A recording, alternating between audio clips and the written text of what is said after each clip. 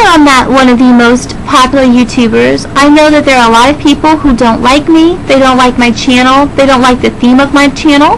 Um, quite a few people have expressed um, disinterest in things that I've had to say after listening to a video or two. Some of them have challenged me uh, politely, and some of them have been very venomous when they've challenged me in some of the things that I have said.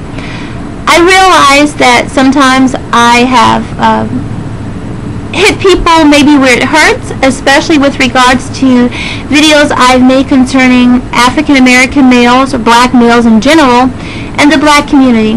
It's not a popularity contest to me, and I don't really care who likes me or who doesn't like me. The only time I've actually been bothered was when a particular click on here had my personal information and they were sharing it, which of course posed a danger to me in real life.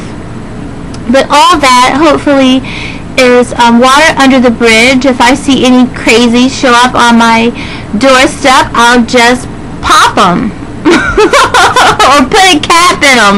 Is that is that thug talk? I'll put a cap in them. Anyway, um, when people say stuff on this site, I can always blow it off. When I turn off my computer, I can just leave it right there. But I got two emails or PMs a couple of days ago, a week ago, yeah, about a week ago today, and, and they bothered me because they were from black women, and what they were saying was, there is no such thing as a sisterhood, or black female solidarity is not real. And that really bothered me. And they went on to detail one of the ladies did anyway, why she said that there was no sisterhood. And I challenged her a couple of times, and ultimately she didn't respond, but she still didn't agree with me. Let me just say this.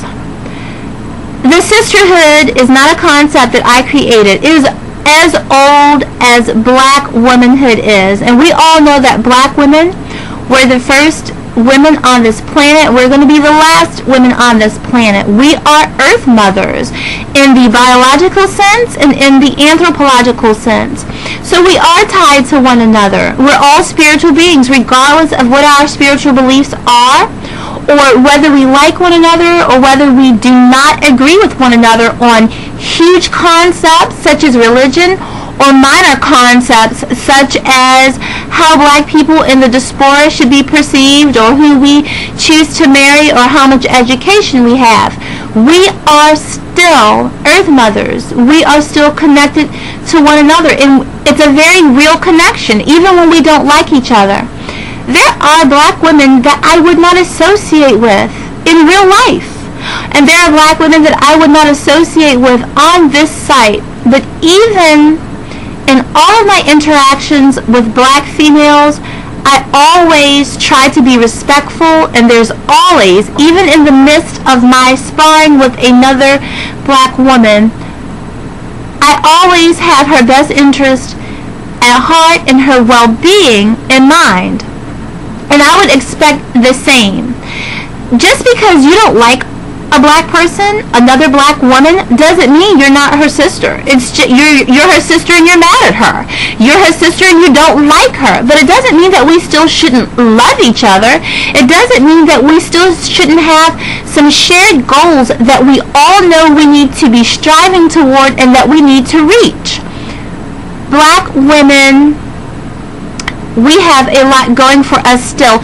In the midst of our pain, in the midst of our diaspora, in the midst of all that's going wrong with us right now, we are still a group that's very feared and a group that's really very loved, I think, by most of our children in the world. And when I say our children, I mean all human beings because we are all one race. Humanity is one race.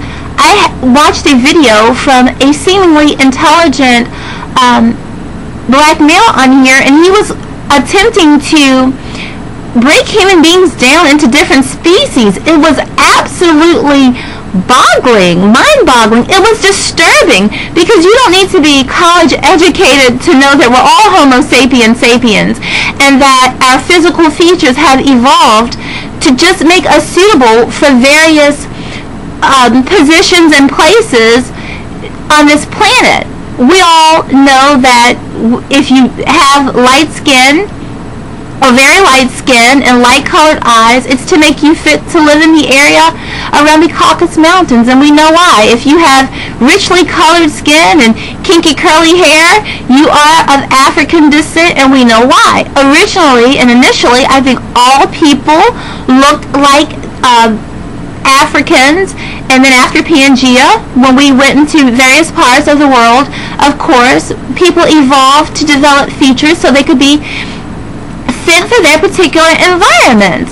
But my point isn't to uh, do an anthropology class or a biology class. My point is to say to other black women, don't lose heart with your sisters.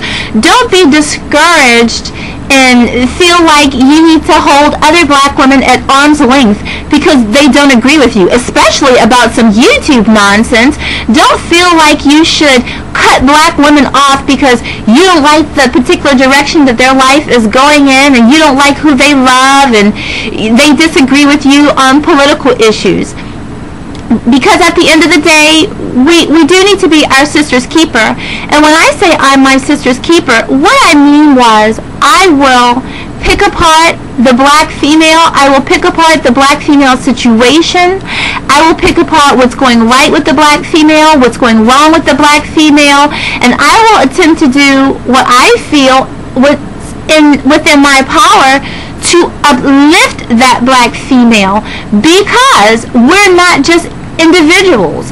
We're all connected to one another. T and TNJ 2323 had on her channel a beautiful, I don't know if it was a poem or if it was something that she wrote because she's very intelligent, but she basically said that we are all connected to one another, and we are. We are connected to one another in the most intimate ways, so much that we cannot disconnect. Not really. We can ignore one another, we can put one another at arm's length, but we're still going to be connected.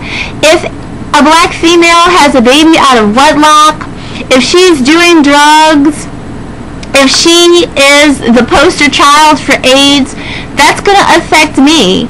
Even if I think premarital sex is wrong, even if I'm healthy as a horse, and even if I would never do drugs, because the stereotypes are affecting us all. The worst among us are how we are perceived by greater society, and that's not fair.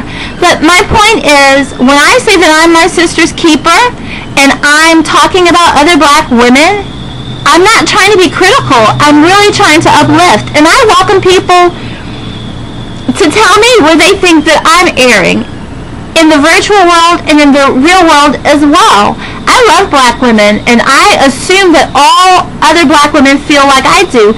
And when I come across black women who don't, don't get discouraged. I try to pick their brain to see what's going on. And I think that's how we all should be. So the sisterhood is real. And the only black women that I hear saying that it's not real are black women who are not doing their fair share to help uplift other sisters. And I think the problem with the sisterhood lies within them and not the, the concept of the sisterhood itself.